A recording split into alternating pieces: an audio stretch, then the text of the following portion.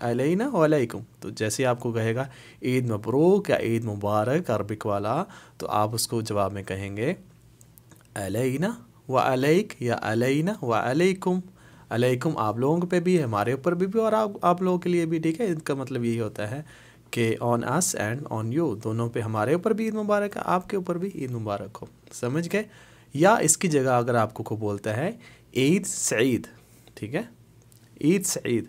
या इसकी जगह कोई आपको बोलता है, ईद सईद तो आप उसकी जगह, ईद सईद भी वही चीज़ होता है, यानी हैप्पी ईद, सईद मतलब खुशियों की ईद या हैप्पी ईद।